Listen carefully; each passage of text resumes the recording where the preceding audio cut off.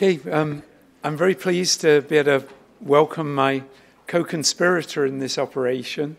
You know, this has been very much a, a joint operation. Um, professor Amy Marshall Colon, who's a professor in the Department of Plant Biology, um, plant molecular biologist who's also modeled metabolic pathways, uh, secondary metabolic pathways as well. Um, we've I realize there's probably some confusion because we called a project we had here Plants in Silico, um, and we don't want to confuse that with the idea of a community effort around plants in silico. But this was something that was funded by the Institute for Sustainability, Energy and Environment to allow a group of us modeling plants at different levels with different software, very different objectives to try and get together and see just how difficult is it to bring all these things together. And of course, we were aided by um, a team from and various people from the National Center for Supercomputer Applications who have a lot of experience in bringing teams together and producing positive results. So this is a large team that Amy will introduce. Many of them are present if you have questions about it afterwards. So Amy.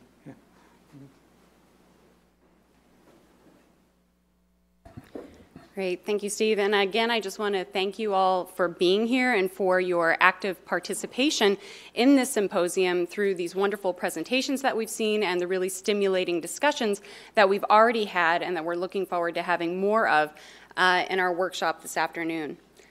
And so, uh, something that you've become aware of um, over these last couple of days is that plants in silico is really um, an interdisciplinary effort. And even here, just at Illinois, um, Plants in Silico um, involves researchers from four different departments across three colleges and three different institutes. Um, and so that's really the hallmark of Plants in Silico is that it is um, multidisciplinary and interdisciplinary, and it's something that we hope to now include all of you in uh, into this vision of Plants in Silico. So really, the uh, the brains and the hands and the keyboards uh, that are behind uh, putting uh, plants in silico together and making this a reality is this uh, really wonderful group of young researchers that you see here. And I hope that over the last couple of days that you've been able to meet them and talk with them about their research either over lunches or at their at their posters.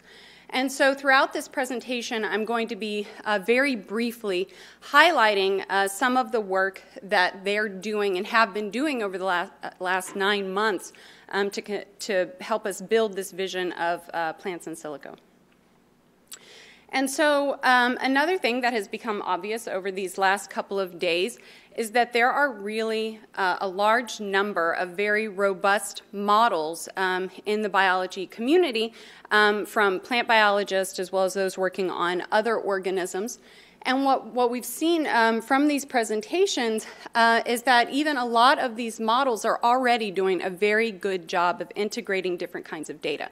Um, so, for example, we, we've heard presentations uh, where um, individuals are incorporating uh, different data from the cellular level, the transcriptome, proteome, and metabolome.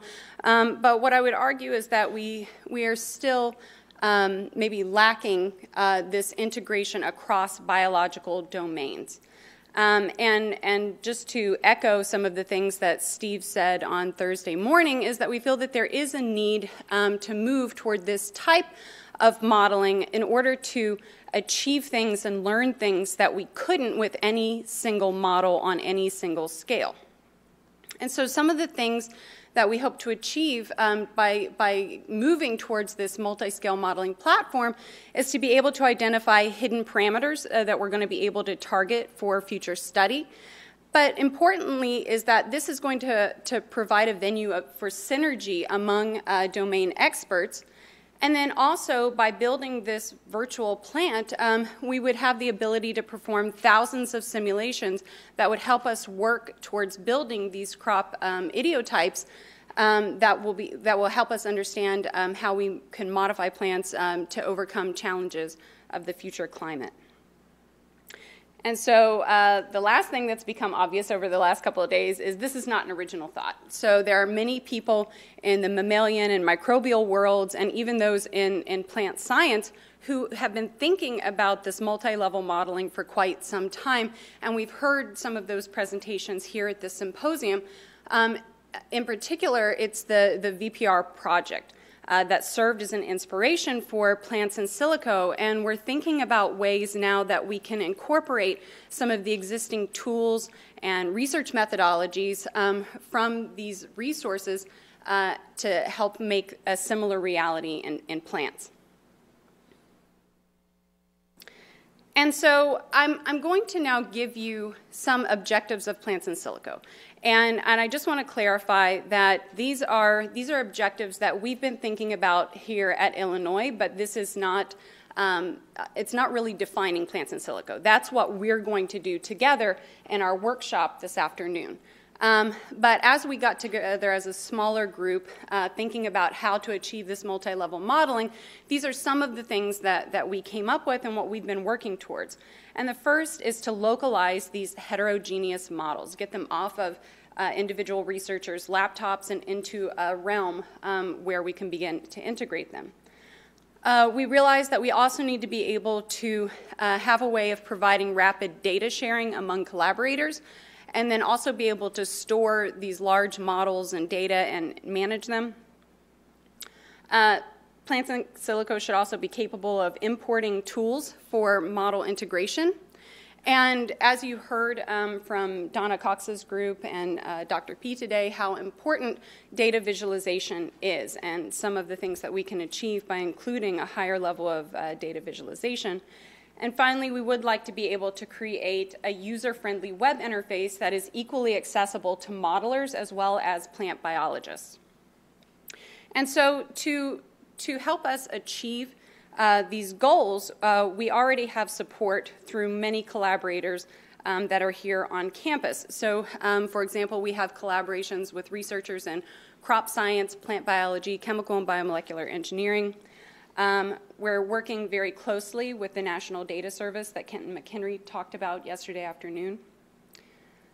Uh, we also have other collaborations with NCSA um, using, uh, will potentially be using their brown dog technologies. And then, of course, with the data visualization, we have collaborations with those in computer science and the advanced visualization team at NCSA, um, and again, the National Data Service. And so, then the more specific goals um, that we've set um, so far is again that we want to be able to construct this platform and centralize our models. Um, so, so really, ideally, uh, what we need is a virtual lab space that we can put in, in these models so that we can then run these experiments and then share that data with our collaborators. Uh, we need to be able to incorporate existing tools, maybe some of those from the VPR, uh, into the platform.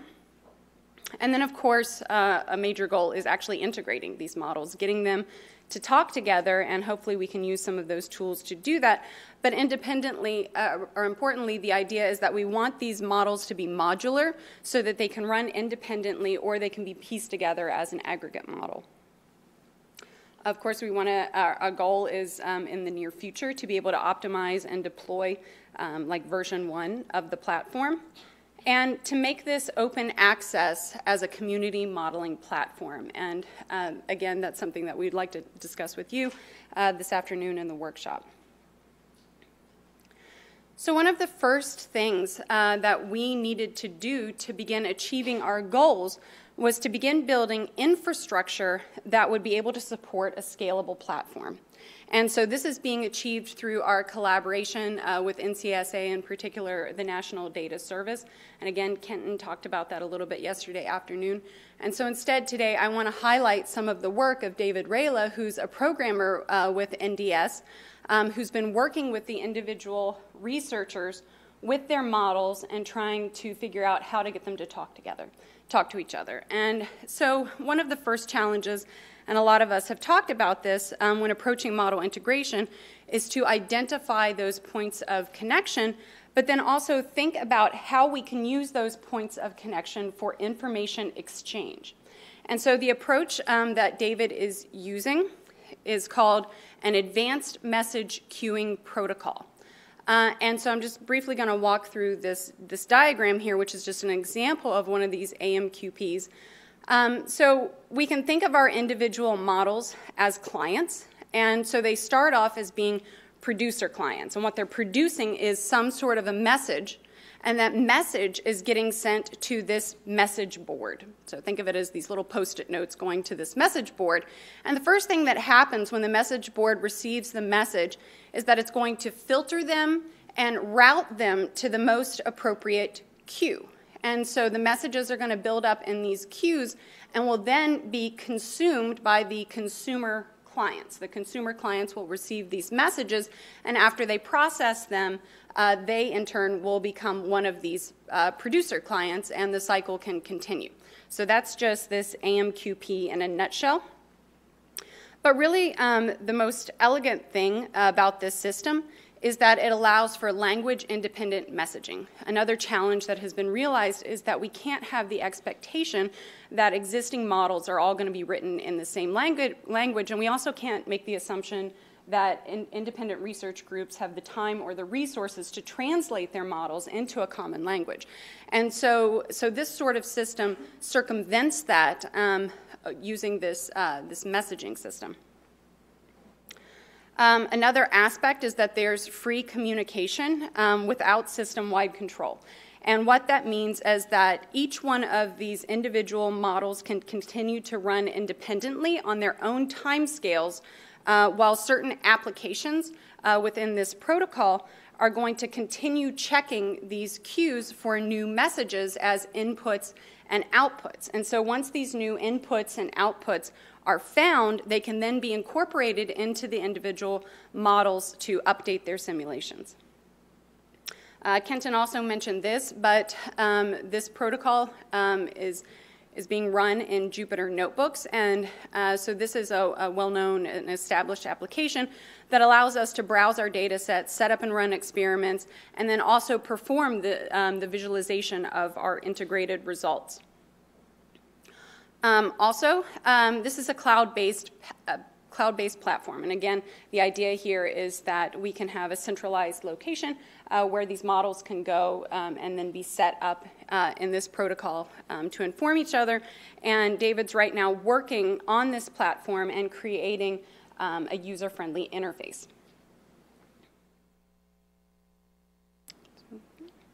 Okay.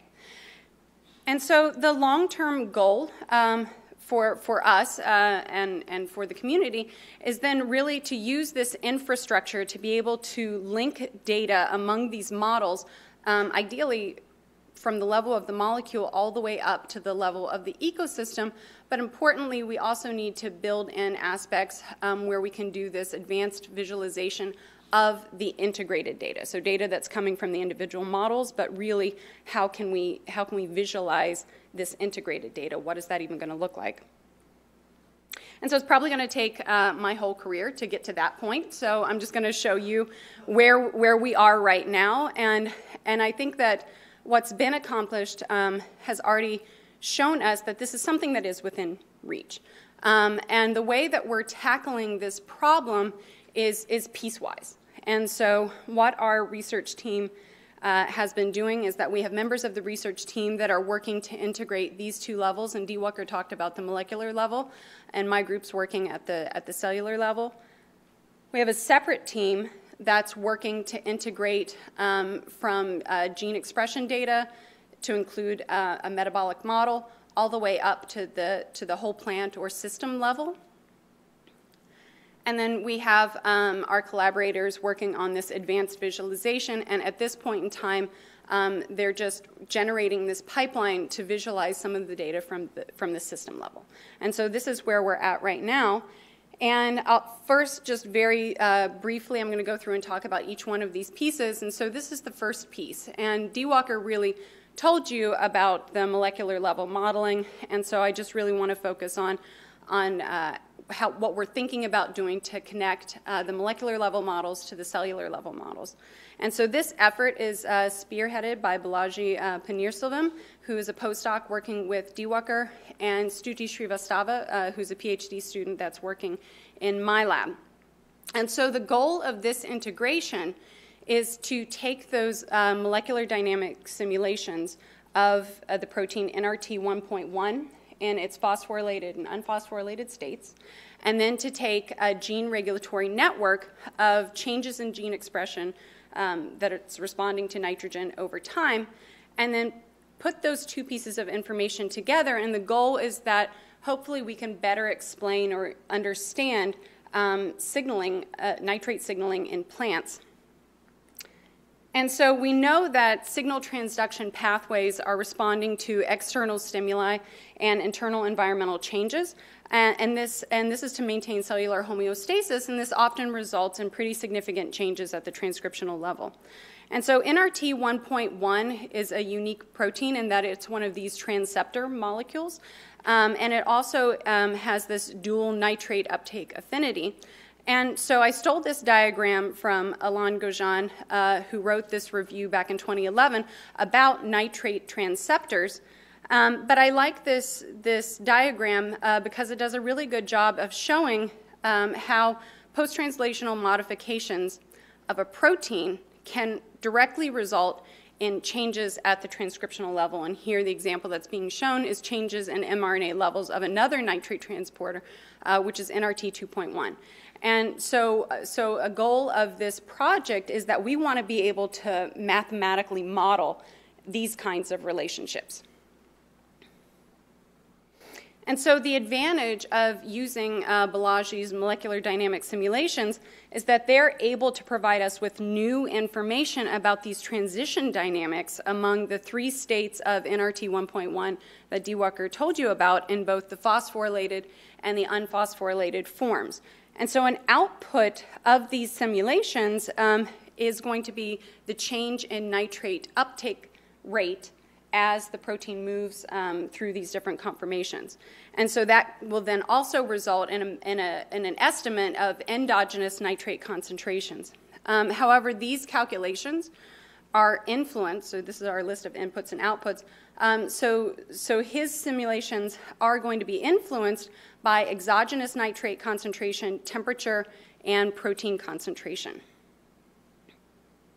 So, the NRT 1.1 gene regulatory network is uh, being built by Stuti, and she's using data from Gabriel Krouk's uh, 2010 genome biology paper and in this model, she's also taking advantage of a, a predictive state space model that they had also developed. And what's great about this is that this model is able to predict the influence of various transcription factors on the uh, gene expression of NRT 1.1 um, based solely on mRNA data. And so um, Stuti is using this model to develop two gene regulatory networks that describe the level of influence of these various transcription factors, which are shown here as the triangles, um, on the expression of NRT 1.1, which is this little box at, at the top of the graph, under both um, low and high nitrogen uh, conditions. And so, comparing these two graphs, what we can see is, is how uh, NRT 1.1 um, is influenced uh, by the various transcription factors. And so, what you'll notice in these two graphs is that the connections are the same, but the level of influence, um, which is the thickness of these lines, is changing when we change from a low nitrogen state to a high nitrogen state. And so, with this level of connectivity, uh, ultimately where we would like to go with these models is to be able to dynamically predict the change in NRT 1.1 gene expression in response to, uh, to for example, um, a genetic perturbation. And so, again, an input uh, of this model, something that this model would benefit from, uh, would be a, a, a, better or more sophisticated estimation of endogenous nitrate concentrations. And so that's, that's one thing that we could get from uh, Balaji's models. But an output of her model is that we can give them an estimate of NRT 1.1 protein concentration. So the predicted change in NRT 1.1 uh, mRNA levels can be converted into a predicted level of NRT 1.1 protein concentration. And so this is a really common equation um, that is used to model translation. Um, but uh, we, we got some help from Zoi Rapti from the mathematics department here at the University of Illinois, who was working with my graduate students um, to build an optimization to help us solve for some of the unknown parameters that are in this equation that were beyond our capabilities. And so, just briefly through this equation, um, P is the initial protein level, which we can make an educated guess about um, from other studies. D is that unknown feedback factor that we needed our optimization for. L is the, the translation rate or the protein synthesis rate. R is our measured mRNA concentrations, and U is a measure of protein degradation rate. And so, uh, again, um, we were really fortunate um, to be able to take advantage of some existing data um, from this paper by Li et al., uh, which came from Harvey Millar's lab, in which they had gone through and figured out um, the, the, general protein synthesis and degradation rates for various um, gene families. And so we, we used those parameters um, in our model in order to predict NRT 1.1 protein level uh, based on NRT 1.1 mRNA levels. And, and so this, this is the output so far um, that we have NRT 1.1 protein concentration at both high and low levels of nitrogen. And so, again, this is one of those outputs of this model that can be used as an input in the, the protein level model. Okay, so now I'm going to switch gears. So I've just been telling you about plant response to nitrogen, and we're now going to talk about modeling plant response to carbon dioxide. And the data that's used in the, the next few models that I'll be talking about come from the SoyFACE facility here at the University of Illinois. All right, so the next model integration is also taking advantage of a gene regulatory network, but this time we're now incorporating that gene expression data into a metabolic model, which is of the dark reactions of photosynthesis. And so this effort is led by Kavya Kannan, who's also a, a PhD student in my lab, and Dr. Yu Wang, who's a postdoc in uh, Steve Long's lab. And so the goal of this model integration is that we want to be able to more accurately predict uh, how the enzymes involved in the dark reaction of photosynthesis are responding to elevated um, levels of carbon dioxide. So to do this, um, Kavya took some data um, from Andrew Leakey's 2009 PNAS paper um, of, uh, of how genes are responding to elevated levels of carbon dioxide. So, again, this was done out at the SoyFACE facility. But this network only includes uh, the genes that are in that metabolic network. But what Kavya did in addition to that was also include um, putative transcriptional regulators of these genes. And so it's important for us to build these kinds of network models to get a better understanding of the relationships among these genes and how these relationships might change in response to some environmental perturbation.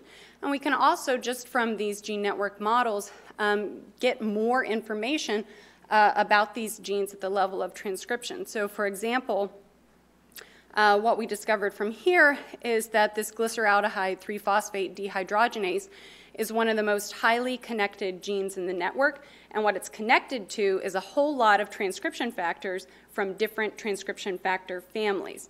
And so, our ultimate goal is to include this type of transcriptional regulation data um, in, in a dynamic model of crop response to carbon dioxide, but we're not there yet. We're at this stage where we just have the changes in gene expression and we built the network and, and the, the point of integration right now is that we're just, again, taking advantage of these mRNA levels and trying to predict protein levels. And so, in fact, that's, uh, that's what Kavya did for 27 of the metabolic genes that are involved in these reactions. She pulled out those mRNA levels and used that same equation um, that I just walked you through in order to convert that mRNA into protein. And what we can see here is that um, these different um, genes and proteins are responding to carbon dioxide at different levels, and it goes from um, pretty significant um, response to almost no response whatsoever. Uh, but we figured, what the heck, let's include all of the data and see if it made an incremental difference. And so these estimated protein levels were then incorporated into this metabolic um, photosynthesis model. And here, this model in particular is really just of the, of the dark reactions. And so this is being constructed by Yu Wang. And what she has done is taken this metabolic model and made it capable of responding to various environmental signals carbon dioxide, temperature, and light intensity. And so that's what's seen in these response curves over here on the right. Uh, the top curve is just showing model predicted uh, photosynthesis over um, carbon dioxide levels at four different temperatures. And the bottom is model predicted photosynthesis at different light intensities, also at these four different temperatures. And so um, we included gene expression data for 27 out of the 39 uh, reactions that are being modeled. And I'm just highlighting here, um, these, are, these are the genes that had a really significant response to carbon dioxide. And although the majority of, of the genes that are in this network um, really didn't have a significant response to carbon dioxide, the inclusion of gene expression data did have a cumulative effect on the metabolic model output.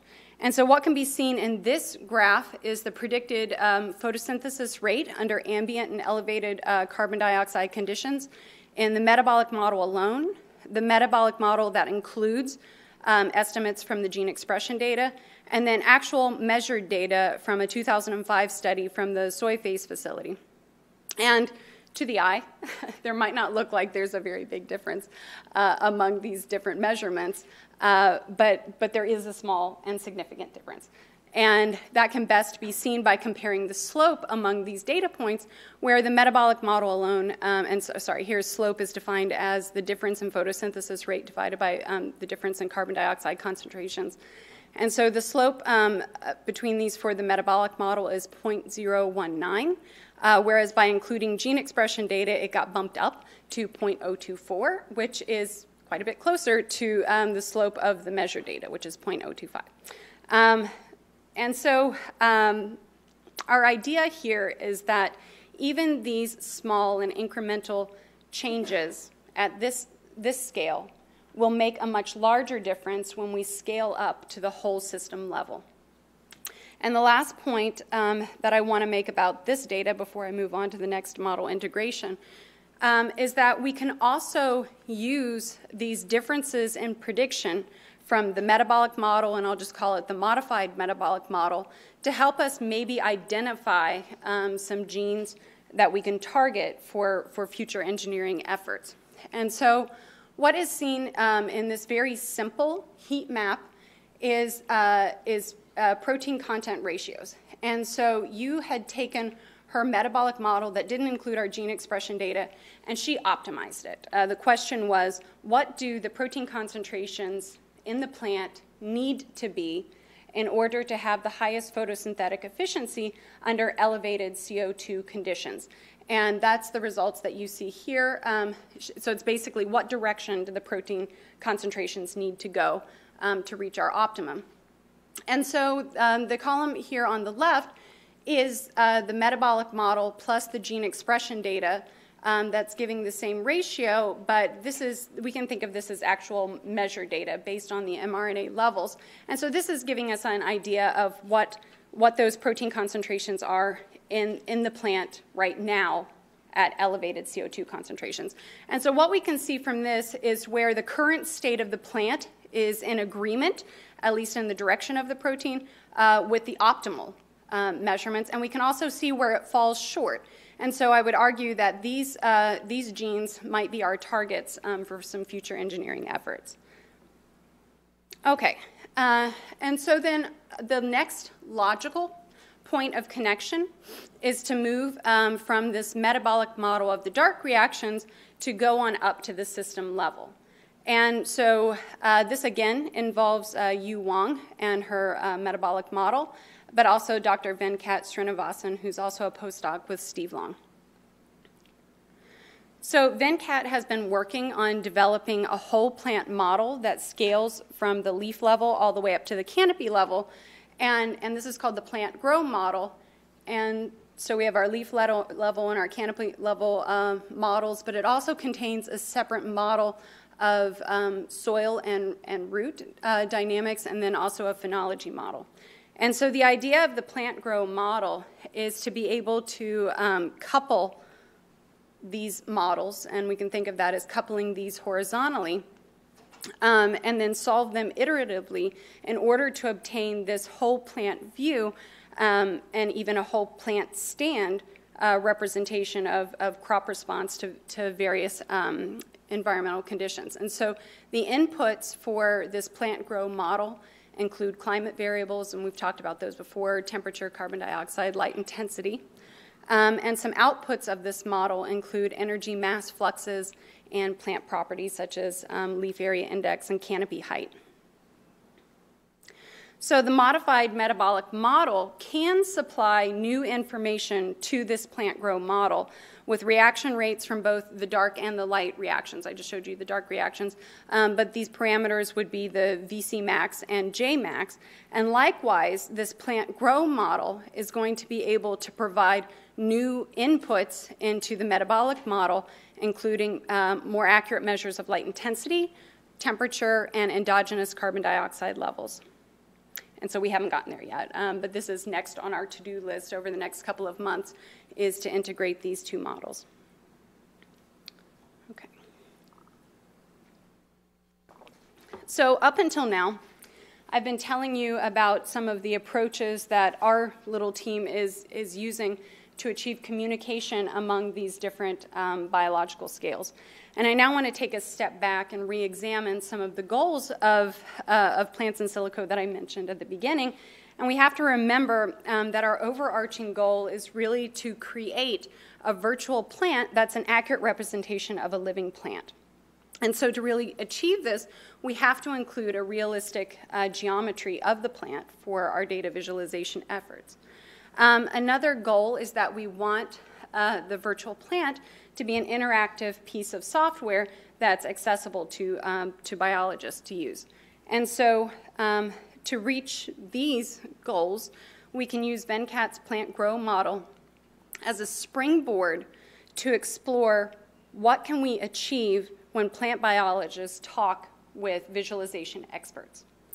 Um, and so this portion of the project is in collaboration uh, with the computer science department here at Illinois, as well as the advanced visualization team at NCSA.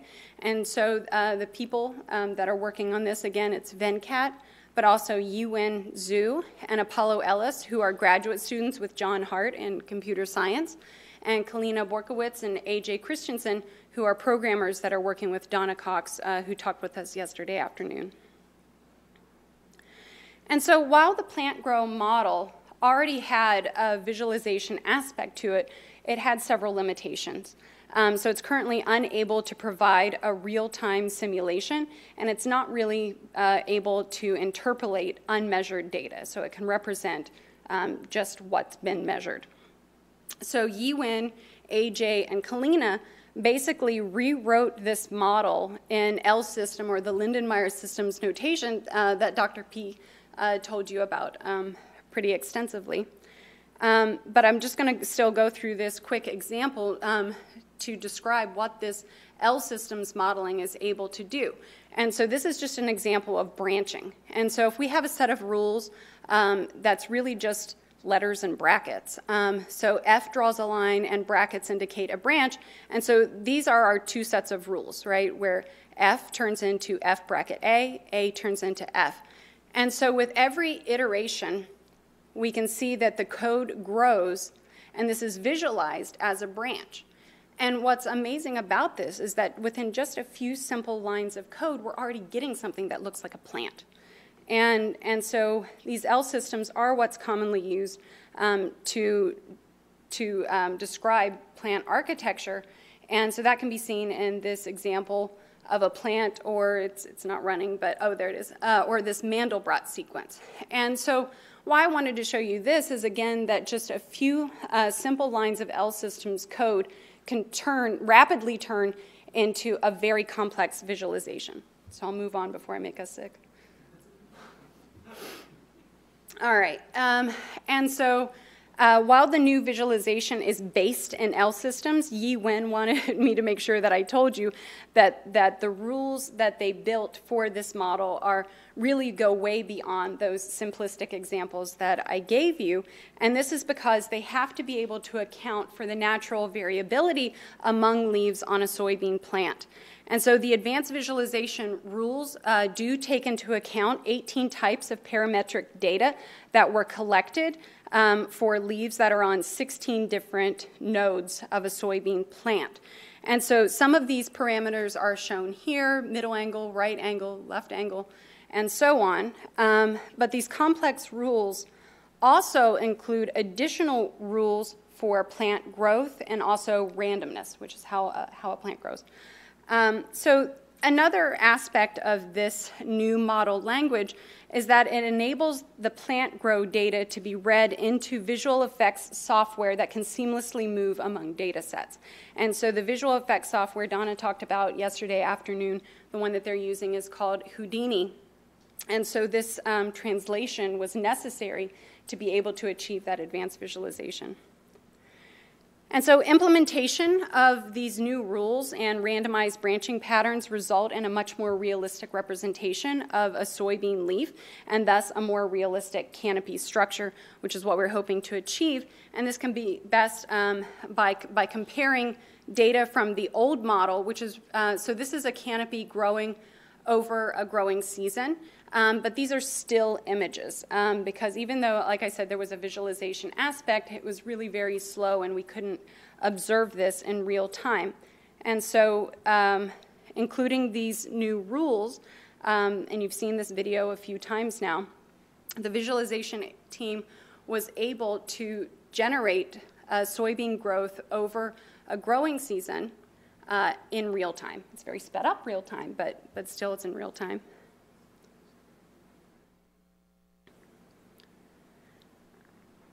And what's, what's really important to point out is that these modifications that were made by the visualization team really have a direct impact on the photosynthetic radiation that's calculated by the plant grow model. And so uh, that's, that's the next improvement of the plant grow model that I want to talk about briefly. Um, is that this is another improvement that we were able to make with our collaboration with uh, computer science. So the original plant grow model took advantage of what was called unidirectional ray tracing. And uh, what you've learned by now is that ray tracing is uh, calculating the amount of light absorbed on a surface for a given amount of solar radiation. And this ray tracing is influenced by leaf angle and other um, aspects of the geometry. And so, what Apollo Ellis did is that he's implementing a software called Embree um, that then took this model and took it towards bidirectional ray tracing. And this is important because that made um, this, this calculation of light absorption about 32 times faster than the original model. And this is a critical addition to the model because using diffuse light is necessary for accurate representation of light absorption, or, or so they tell me. Um, but, but it's very computationally costly and slow. And so Embree has increased um, the speed of this process from, ju- from two to five minutes per time step, is what the original model was, to really just a few seconds per time step. And so, again, this is another uh, necessary addition um, to be able to realistically visualize uh, canopy light absorption. And so, as before, this can um, most easily be seen by comparing results from the old model, which is again a series of these still images of um, light absorption in the canopy over a growing season. Um, but this movie is showing canopy light absorption over the course of a day. And again, this is a seamless transition and it's in real time. And it's, it's also taking advantage of that more realistic um, geometry from, from the L systems rules. All right, and the ultimate goal of these efforts, as we've been discussing, is to be able to make realistic observations in silico. And we really want to be able to say how a single plant or a stand of plants change in response to a genetic or an environmental perturbation. And so these observed uh, changes to a canopy structure or light absorption can then cascade down to those other biological levels as we connect them together. And so this last movie, again, I think you've, you've seen this one, um, but what we can see in this final simulation are really the subtle changes in plant growth and final canopy height in soybean that's grown under ambient and elevated CO2 conditions. And what we're observing, again, in, in real time, is that um, these plants are growing a little bit faster in elevated CO2. And so, what you can imagine as a plant biologist, if you were to run this a simulation, you're, you're making experimental observations as you're watching this happen.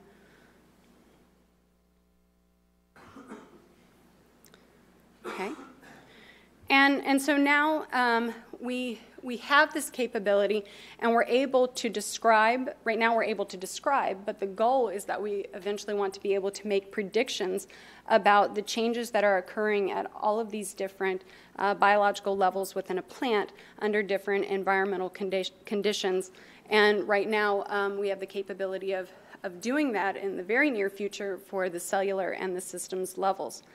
Um, and so that's it for me. I again just want to thank all of the people here at Illinois um, who are involved in the leadership of this, and then, of course, our young scientists who, who are doing the work and who are figuring out how to circumvent all of these challenges, and there's a lot of challenges with this.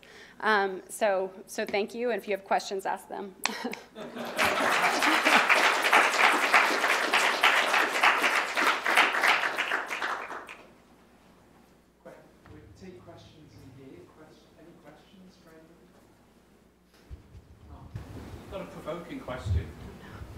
Somebody else. Oh, sorry.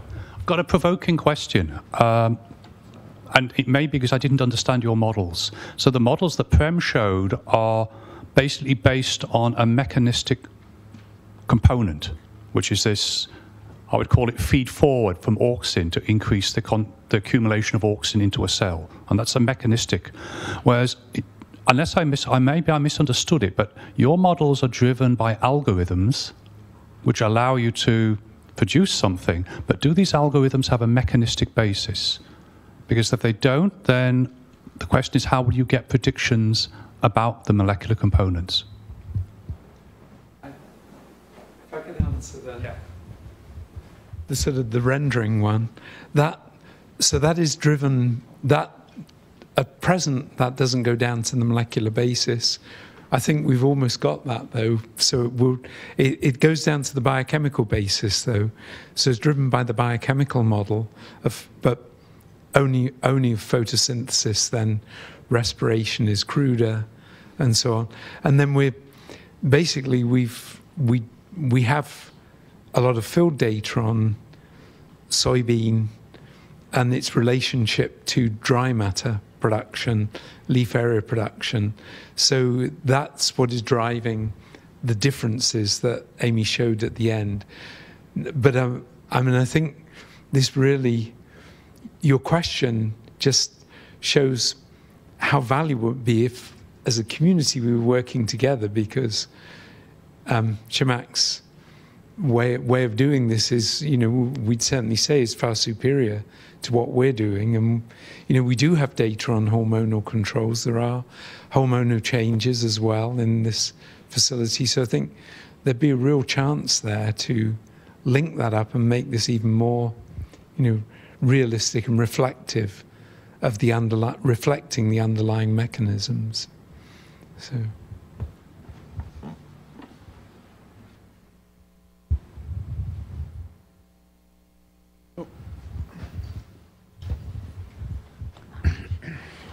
Uh, thanks, Amy. So that was a, great talk, great overview on uh, all of what we're going to be talking about this afternoon. Uh, I have one question. Maybe it's overly detailed, but it's my area, so I'm just curious.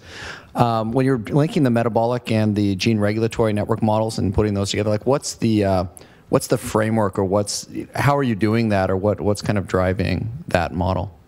So at present, over here. Um, at present, um, it's it's really minimal. It's it's kind of the bare bones linkage um, that we can make where we're we're converting those mRNA levels to protein levels, um, which is at like right now all that um, you can use in her in her model. So that's how we're linking them now. Um, our our big idea down the road is that we, we do want this to be a cyclic interaction where there's feedback uh, among the different models.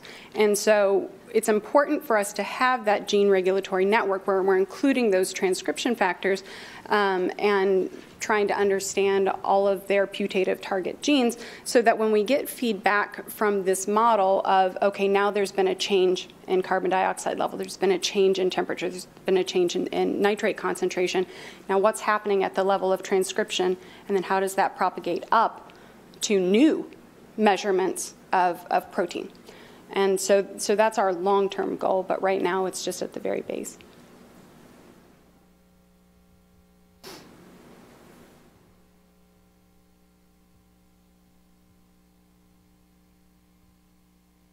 Okay. All right, great. So, yeah, Mark, sure. question there, Amy. I guess it's a detailed question. But it's a detailed question, but you have this feedback, I think you call it D, from the protein level to basically the rate of translation.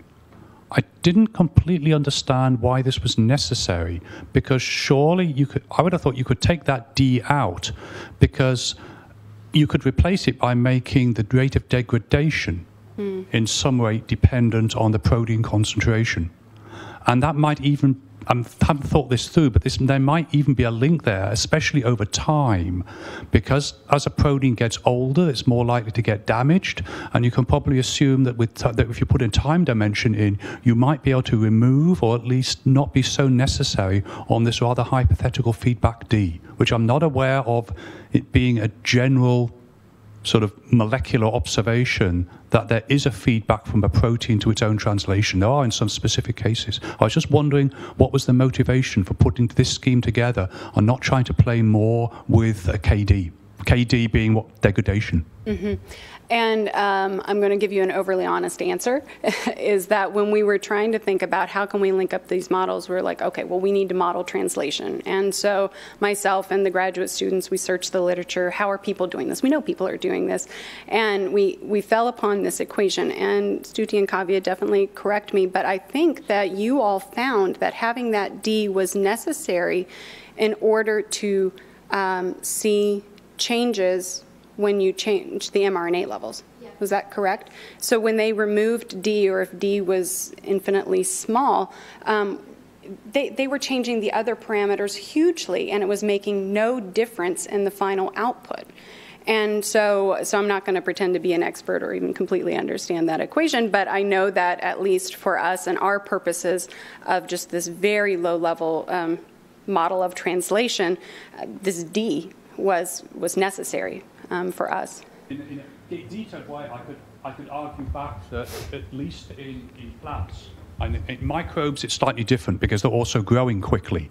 And so uh, you have basically the growth, which itself is diluting out proteins. But in plants, the accumulating evidence is that the vast majority of the proteins have pretty slow turnovers, mm. and that actually I mean, this is work from our work. Willie Gruissem has gone into, we were involved in as well, Willie Gruissem's work uh, with Katja Baerenfaller and others, that, uh, that you can have transcripts dance, dancing about in the framework of hours to sort of a, a diurnal cycle, those sort of frameworks of hours. Transcripts can be jumping up and down, and the protein levels are actually are not changing. Stable, right. They're not changing. Mm-hmm. Uh, and uh, basically the idea that we've come out with here is that uh, you can make a very simple thought experiment. Say you start off with a completely, say, naive cell which has never made that protein. The transcript appears.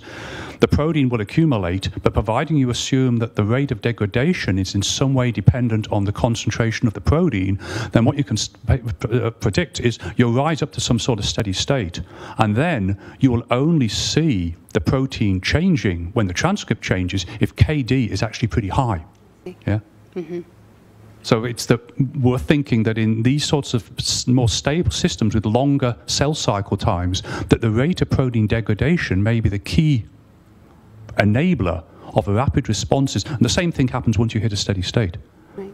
So that's why I'm wondering, you may be trying to simulate something which you don't need for many proteins. For some, sure, mm-hmm. but for some you don't.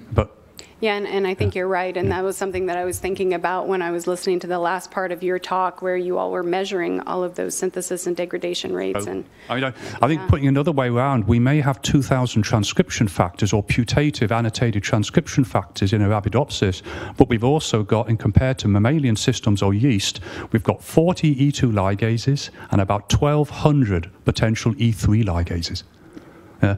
That means that when you start putting those things together in combinations, we've probably got more combinations than we need to degrade every single protein in different specific ways.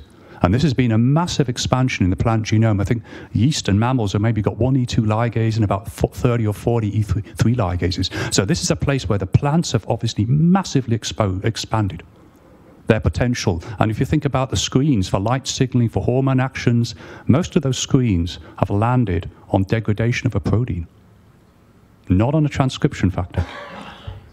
so thinking about the pan not actually hitting you with the pan. Yes, well, the easiest way to lead a dog, a horse, is by mouth. Uh-huh. So if I want to get rid of a protein, it's easier to take it into the stable with its head and to push it. I think, but and this this is thinking, but I think we need to think much, much more about, I mean, if Richard Vierstra is here, he'd be pushing this a lot more, but I think we need to think a lot about the regulation of protein degradation. Yeah, and one thing that would certainly help us is to have have more data to help constrain our, our model and constrain our estimates. And so again, these are just estimates that we that we have.